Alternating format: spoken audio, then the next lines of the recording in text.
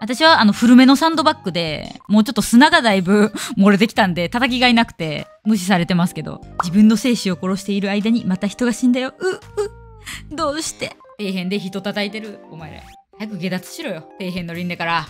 瀬戸内タヌチョ嫌なことをしないために嫌なことをやる。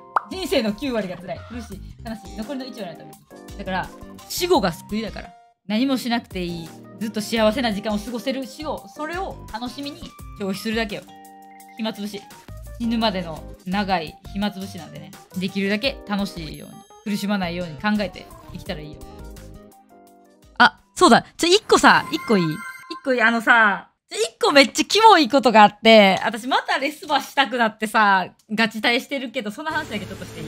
あのさなんか最近あの私の切り抜きやんだったさ人が一人辞めて、まあ、辞め、まあ、辞めさせて、ほんで、えっ、ー、と、まあ、動画とかも全部非公開、まあ、削除はせずに非公開にして、したら、えっ、ー、と、まあ、私を管理者から外されて、で、非公開にしてたのに、また全部公開にしてたのね。ほんで、まあまあ、あの、まあ、消してってお願いしたら、まあ、じゃあ、あの、なんだっけ。え、でも、その、2ヶ月くらい時間もお金もかけてやったけん、金くれって言われたのね。まあ、金を、じゃあ、まあ、じゃあ、分かった、金あげるっつって、まあ、消さしたんやけど、その動画の1個が最近また炎上してて、なんかその、VTuber は、えー、VTuber 見てるやつは電一的障害者みたいな、言ってないんやけどそういう切り抜き方をされとって、ちょっと炎上してたのね。で、あと、スプラやってるやつは、キッズかメスみたいなやつとかあったやん。で、そこら辺の、まあ、切り抜きをやつが上げとって、それで、ちょっと炎上してたのね。そうそうそう。まあまあまあまあ、まあ、それはもう、もう、もうじゃあいいよ。もうめんどくさいけど、もう金あげるけん、もうじゃあ消してなって消させたんやけど。そうそう。で、それでさ、私今日、ツイッター見よったら、これ本当ですか？とりあえず任天堂にリプライしておきましたっていうリプライ来とってん。スプラは言うた。スプラは言うた。とりあえず任天堂にリプライしときましたって言われてん。任天堂？ほうなんや。なんかもうかわいそうやなと思ってさ。スプラトゥーンはメスとキッズがやるゲーム、おっさんがモリモリやってたらキモいやろ。まあ、確かにこれは言いました。ほぼ原文ままです。けど、それを見て、これ本当ですか？とりあえず任天堂にリプライしておきましたの、キモさがすごいなと思って。まあ、まださ、まあ、こういう人間がこういうこと言ってますって、まあ、メールとかだったら、まあ、それでもキモいけど、まあ、まだわかる。でも、リプライなんや、みたいな。それを私のリプライに、とりあえず任天堂にリプライしておきましたっていう、あいつの気持ちがもう、わからん。なんか、これで多分焦るんやろな、ビビるんやろなって思ってるんかな。ということがありまして、社員さんのさ、仕事増やしたらあかんな。バカな野郎だよ。うん。任天堂もびっくりやわ。っていうので、レスバするほどじゃないんやけど、任天堂にリプしておきましたが、キモすぎて、あーってなってましたね。いや、なんかこ、こまあ、その、まあ、言ったら、相手はさ、その弱者さんやから、多分、情弱やし、私がまだプロゲーマーかなんかだと思っとんだと思うよ。ほんで、スプラについて言及したから、多分、スプラのプロとか勝手に思ってんねん。だから、任天堂にリプしときましたって言うんだやろ。私が、やべって焦ると思ってるんやろ。そいつの心の中では、よし、こいつ燃やしてやろう。悪いやつやからっていう感じなんだろうなっていうところまで考えて、キモさが最高潮になって、いっぱいいっぱいになった。いいゲームやってるっしょ。めっちゃハマりそう。でも何歳とかは、そこまでさすがに見てない。よな私も弱者の考えはまあわからへん。え？死んだ？何？え？え、死んだって、その、比喩的な意味で？比喩的な意味で？ちょっと待って。え、ちょっと待ってよ。えーっと。あー、まあ、これはさすがにネットで叩かれすぎたからやろうな。うーん。これかわいそうとかさ、衝撃的とか言ってるやつさ、絶対叩いたりしとったやつおるやろ。で、これ叩いてたやつらって別に、こういう時になったら言ってなかったことにするんやろな。今コメントとか消しまくってるんやろな。多分自分で送った DM とか、そこら辺も消しまくってるんやろな、今。胸くそ悪いわ。ほんまネット民って貸すのクズよな。私のその任天堂リプマンもそうやけど。同じタイプの人間。そうだろうな。一斉に追消してるやろうな。カスばっかりや。DM とか送るってどういうんえ、いっぱいあるよ。わかるよカスクズゴミしねみたいな。DM 一生来るからな、私。バカじゃない？ほんまに。だってさ、あの、嫁の子？なんだっけ？ペ、ペコっていう子とかは、絶対そんなん望んでないやん、その。けどなんか、ネット民ってさ、他人の気持ちを代弁するの好きやん。ペコちゃんがかわいそう、ペコちゃんはどう思ってるか、う、う、みたいな感じで、別に本人が思ってなくても、勝手にお気持ちを代弁して叩くやん。望んでるわけないやん、そんな。アカウント機種もあるだろうな。気持ち悪いな。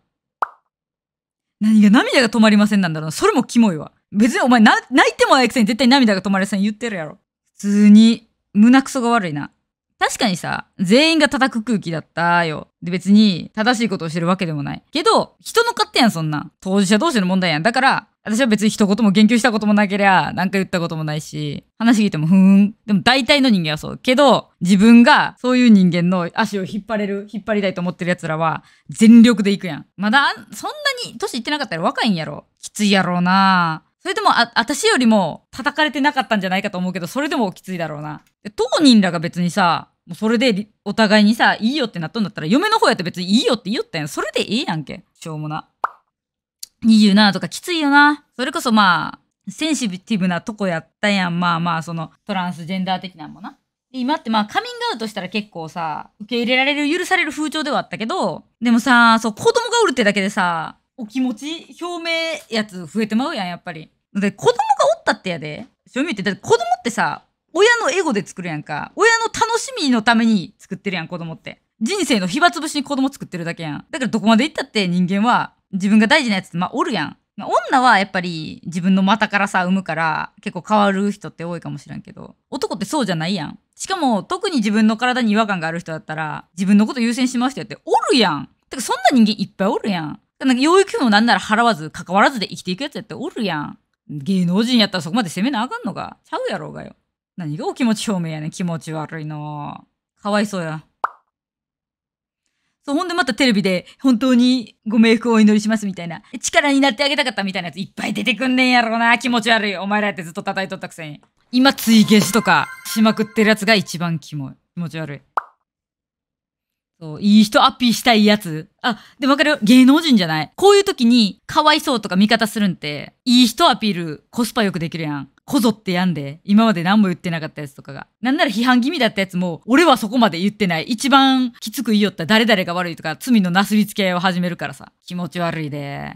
かわいそうにな。どうだろうね。もう話題にも出されたくない。消えてしまいたい。その気持ちはわからんでもない。別に、私も超超当事者だったしな。でももう、彼がどこで何言ってもずっと上げ足を取られ続ける人生やからな。しんどくなったんやろな。で、言うてやっぱり芸能人、テレビまで出ると他の仕事ってほんまにきついと思うから。まあ私は別にさ、テレビには出たっちゃ出たけど、バラエティずっと出とったみたいなそんな知名度ではないからさ、別に普通に仕事もできるし、外出ても大して相手にされへんけど、誰も私の顔知らんしな。あっこまで出とったら普通の仕事も厳しいやろしな。そうやね。別に真っ当な批判は消す必要もないねん。ただ、いろんな人が叩いてるから、もう真っ当じゃなくて、普通に見た目を叩きに行ったりとかしよったやつっていうのが焦って消してるんやろうな。全員気持ち悪い、ほんまに。それはガチで全員気持ち悪い。キモ、普通に。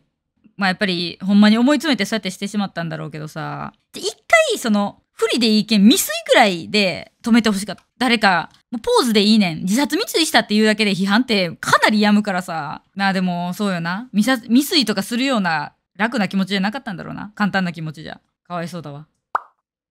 マイク・タイソンにしばかれまくれ。カスども。私は片上じゃないよ、別に。ただ、おかんが途中でちょっと出て行った時があるぐらい。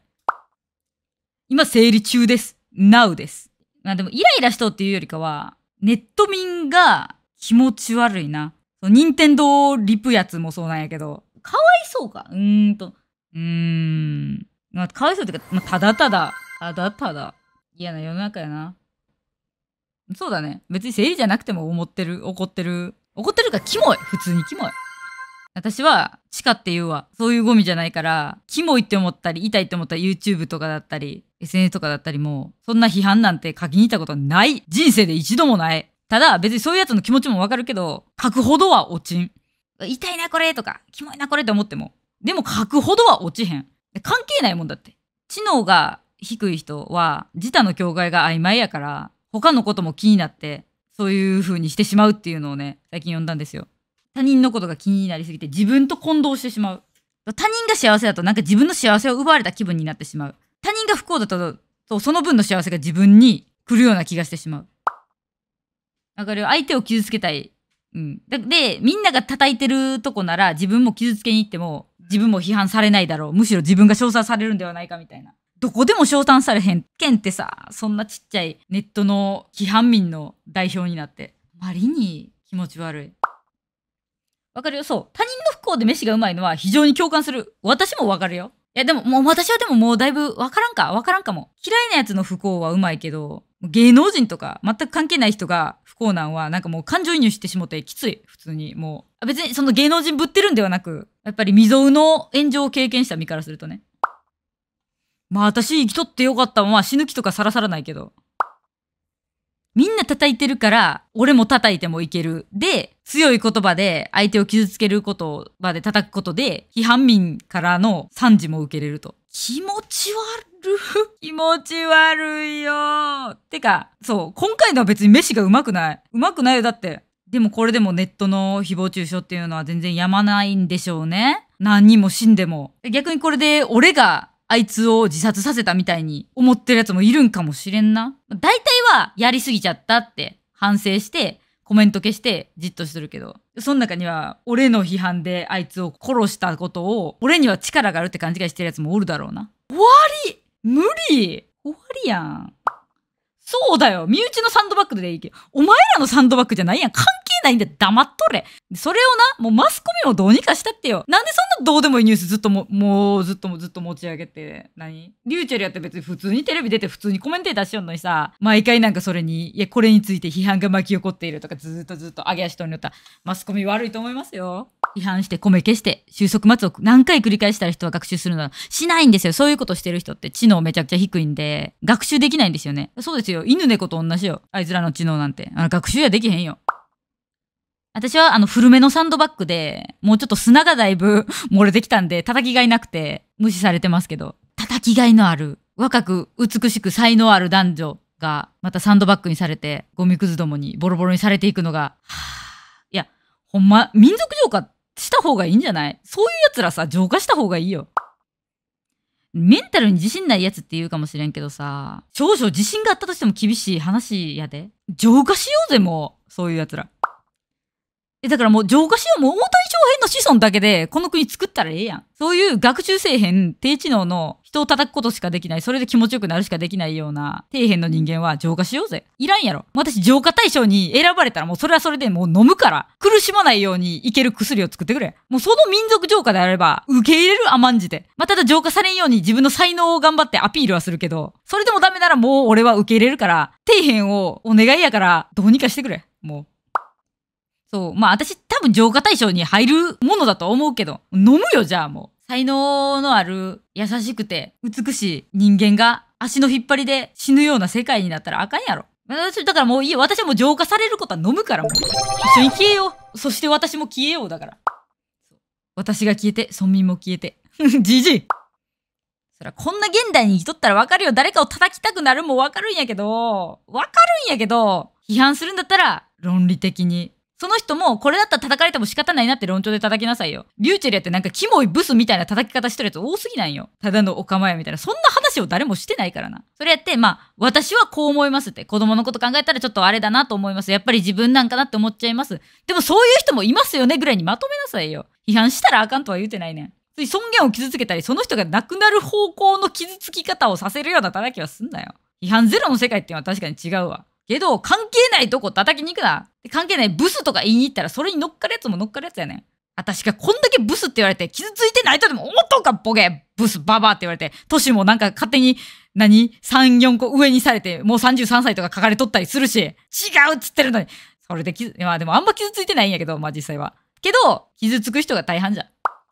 27歳って言ってんのにな。33歳くらいまで増えてたからな、年。おいおいおいおい。てかまあ、なんだろうね。私は30超えたし、もういいかみたいな諦めがあるかも、あるからいけるかもね。若い子だと違うやん。今が一番可愛い20代前半みたいな時にぶつけられる言葉と30超えてぶつけられるブスババアは全然重さが違うねんな。それまあ側、見た目は一緒よ。ブスっていう側は一緒やけど、例えばさ、雪玉の中に硬い石を投げて、入れて投げる雪玉と 雪玉100%で投げる雪玉って全然側は一緒やけど、威力違うやん。もうババアは中に石入ってないねん。だってもう。まあババアがもうついた時点でブスってなる人おるしなっていう諦めがある。ただ若い時のブスっていうのはもう、一番いい時でもお前はブスですっていうことやね。ちょっとで、なあなあ、ちょっと妄想さ、おい、34歳って言って、違うってねえ、ちょっと、なんで私34歳みたいになってんの？また増やすなよ、お前。もう、もうすぐそうやって好きあらば年齢増やしてくるからな、勝手に。切れそう。まあ私は配信でブスとかそういうの言うけど、配信見に来た人に対してやん。で、ブスとかホビットって言われたい人に向けて言ってるやん。言われたくないやつがわざわざ私の配信見に来てっていうのは、そいつの頭がおかしいしな。名前にね、いや、じゃ27にする？タヌカナカッコ27にする？いやーもう、私とかめっちゃ他人やで。ほんな全く知らん他人やけど、胸くそ悪いわ。普通に。バージョン27です。まあ、人中はまあ長いからな。いやでも、その人中が長いからといってブスなわけじゃないんですよ。その中国人のモデルさんとかで人中長いけど美人っていう神バランスの人もいるんで、一概に人中の長さが美醜を決めるわけではないんですよ。石原さとみはまあめっちゃ短いらしいけど、それはさとみが可愛いからっていう話であって、人中が短いから美人ってわけじゃないんですよ。長くても美人いるんですよ。自分の精子を殺している間にまた人が死んだよ。う、う、どうして？あ、なんかその、なんだっけ、サッカーの日本の川澄っていう人は日東って言われたこと結構あるな。う、う、いや、やめろよ、人中の話はやめろうもう本来言うんだったら私人中じゃあ切ってくるけどいける？私が人中切ってしまったらどうする？完全無欠か？おい。おい、この人中なんてな、ちょっとな、私がお金をこうペッて出せばな、すぐ切り取れるものやで。けど、アイデンティティ確立のために残してるまである。人中といえばみたいな。そういうとこあるよ。個性を出すために、あえて人中を残す。まあ、どっちでもいいかな、もう。だって、言ったら、モテを考えたらさ、ちょっとブスの方がモテるからさ、この世は。いや、まあ、ブスっていうか、めっちゃ美人と、ちょっと美人だったら、みんなちょっと美人が好きやん。完璧に整ったんじゃなくて、ちょっと崩れた美人が好きやん。モテを追求するのであれば、私は多分人中長いままで、ちょっとブスな方がモテんねん、多分。あえてよ。親しみやすい顔面でな。それがええやん。私が超美人だったらさ、ほら、自虐ネタしても思んないやろちょっとブスが余計おもろいんよ。そこを生かすために、あえて残している。俺の人中。そう、あえて残してやってる。お前らのために。えな、な、なんで垂れとることにしてんの？な、な、なんで父垂れとる前提なん？わかる私、写真写るによってマジいつも別の人やからな。で、配信ですら日によって顔違うしな。じゃあもう、はい、じゃあ今日ここで終わり、終わり。まあ、あのあれやな。みんなもう、日頃の鬱憤を晴らすために、批判などするのは別に人として間違ってることではないですよ。別にそれがね、こんな批判コメント書いてるって誰に知られるわけでもないですしね。けどやで、普通にメディアで撮ったって、どんだけ有名だったっけ？どんだけ批判のコメントもらってたって、聞く言葉ってやっぱあるからさ、お前の掘り当てた一番聞く言葉で、そいつが死ぬ可能性もまあ、あるからな。てかあったからこうなってんねんな。そんなことをしたからって、お前が生殺与奪の毛を握ってるわけじゃねえからな。お前に力はないよ。ただ別に、ほんまに死んでほしいなんて、いやたまに思ってるやつおんねんな、でも。私に関してもほんまに死んでほしい。タヌカナは絶対死んでほしいっていうやつとか、ツイッターでたまにおるけど、そうじゃないなら、ほんまにもうどう考えても死んでほしい。目の前にいたら俺がやってやるくらいの憎しみでないならやめとけ。普通に。やめとけよ。そう。まあ、任天堂にもリプは送れよ、もう。あいつ気持ち悪かったな。ちょ、レスバしたいけど、まあ耐えます。任天堂にリプライを勝手に送ってほしいです。ホビットはだってさ、まあ言ったら、生きとる方がきついことやってあるわけやん。だから死は救済とか思ってしまうかもしれんけど。まあ、この世界生きても死んでも辛いよ。まあ、死は無だからな。救済になるんかもしれんけど、いいやん別に。その、死がゴールなんだったら、生きとる時辛い方がゴールが楽しいかもしれんやん。死を楽しむために今の生を苦しめばいいよ。まあでもその死ぬまでの苦しい日々をちょっとでもよくできるように別に努力できるやん。もう苦しいこと確定でいいねん。でも死ぬまで生きるだけなんやけど、ちょっとでも良くなるように自分で努力したらいい。で、その努力はよくわからんネットとかで気に入らん成功した人を叩くじゃなくて、もっと来世徳を積めるような、自己減産できるような方に使えないんだよね、人間っていうのは。ゴミクズだから。使えないんだよね。それが人間や。カスのまま死んでもう一回カスのまま生まれてこい、お前らは。お前らは徳を詰めてない、そのまま生きるんだったら、来世も同じお前ら。底辺で人叩いてるお前らや。早く下脱しろよ。底辺の輪廻から。瀬戸内タヌチョウ。まあ、まあ、ちょっとでもな。自分、よく生きるっていうやん。よく生きる。なんか哲学とかでも、よく生きるとはどういうことか、みたいな。なんだっけ、フィロ、フィロソフィアっていうんかな？フィソロフィア？まあまあまあ、なんかそんな言葉があるんですけど、意訳をすると、よく生きること。でよく生きるって言っても、人によって良さなんてまあ別のもんだったりするんやけど、いや、自分が思うよく生きるってなんだろうということをしっかり考えて、人を叩くことが果たしてよく生きてることなのかということをね、自問自答してほしいですね。まあそんな感じですね。私は全然よくは生きてないんですけど、自分の中で今好きに生きようとは思ってて、何でも自分の好きなようにしたい。嫌なことはしたくない。したいことだけをしたい。で、自分に嘘はつきたくない。やりたくないゲームはやらんし、やりたいゲームだけをするし、やりたくない配信はやらんし、金くれてもやりたくない仕事はやらん。そう、一日、一日、100万みたいな仕事とかもあったかもしれんけど、やりたくないから蹴った仕事もあります。もう、やりたくないことはやらない。自分に正直に生きる。これを心情として、今世は、根性は生きていこうと思ってますので。でもね、そういう一本なんかその芯があると、人としての魅力になると私は思ってるんですよね。カスでもクズでも筋取ったやつ一本そう軸があるやつっていうのはやっぱ魅力的なんでそれが最終的に特につながるところもあるんじゃないかなと思います。魅力的な人間がまあ晩年になってね悟りを開いてみんなにいろんなことを教えてくれて徳を積んだりすることもあると思うんでね人生の9割が辛い苦しい悲しい残りの1割のために生きてるだから死後が救いだから何もしなくていいずっと幸せな時間を過ごせる死後それを楽しみに消費するだけよ。暇つぶし。死ぬまでの長い暇つぶしなんでね。できるだけ楽しいように、苦しまないように考えて生きたらいいよ。というわけで、はい、ゲームするんでもう邪魔しないでください。オズちゃんと子供作るんでこれから。楽しいことだけしたいけど、金がないな。じゃあまず金を稼いで楽しいことだけできるように持っていこうっていうのが正しいよな。金があると、やりたくないこと、嫌なことをやらなくてよくなるんですよね。これはね、私がある投資家の方から、田ヌさん、お金があったら何が一番いいと思いますか?」つって気持ちに余裕ができることだと思ってます」っつったらそうあの嫌なことやりたくないことを金があるとしなくてよくなるんですよ。それが余裕につながるっていうんでしょうねっていう話で。で心に余裕を持ちたいで楽しいことだけしたいんであればじゃあまず金を稼げる土壌がいるよな。投資家の人とかはもう投資で働かんでも金があるからそういう状況ができてんねんな。嫌なことをしないために嫌なことをやる。めんどいけどいろいろ勉強していっぱい稼げるようになって極力嫌なことをしないで済むようにする。という人生設計を考えてみてはいかがでしょうか。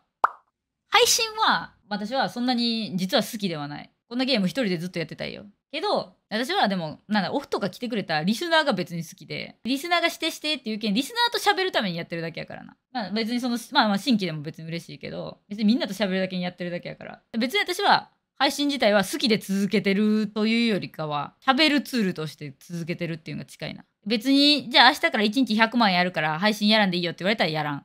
かな いや、やらんもないか、やらんもないか。えじゃあ、あの、一緒にゲームしたいリスナーだけ集まって、ディスコでグループ作ってゲームやろうぜくらいではあるかも。だけど、まあ、あの、みんなが求めてくれる限りはやります。ただ、誰も求めてくれへんのに、一人でもやるようなタイプではないっていうのは、周知していただけるとありがたいですね。なんか目立ちたいからとか、炎上したいからやってるとかではないです。正直別に炎上したくないんですよ。勝手に切り抜かれるけど。燃えそうなとこ。お風呂入ってないんで。はい、おな、お、お疲れ。お疲れ様でした。うてすけの仕事は今日はお休みです。そう。今日はちょっとね、打ち合わせとかがあったから。ほなね、ばっくれてねえよ。今日は休みつってるやろ。